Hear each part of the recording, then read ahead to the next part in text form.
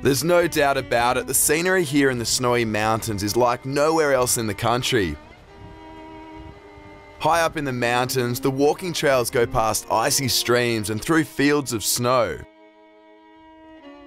Down in the valleys, we're confronted with the most breathtaking scenes of Australian bushland backed by snow-capped mountains.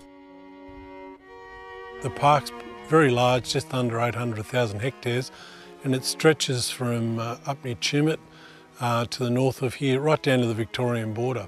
And it has, uh, I guess, some of the larger portions of, of true alpine flora uh, in the country. And the thing I really like about it are the changes in the seasons, and you don't get that too much in, in Australia. We have, you know, a definite winter and spring uh, is a beautiful time of year, and summer is also a fantastic time to be out in the park, mountain biking or walking, some of my favourite activities. And then we roll back into autumn and winter and the snow activities as well. So there's always something happening.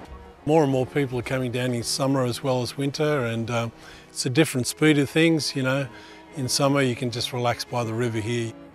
Fishermen use this all the time in summer. It's a great uh, fishing spot if you want to get away and do a bit of fly fishing rather than, uh, you know, a lot of the frenetic activity up on the ski slopes.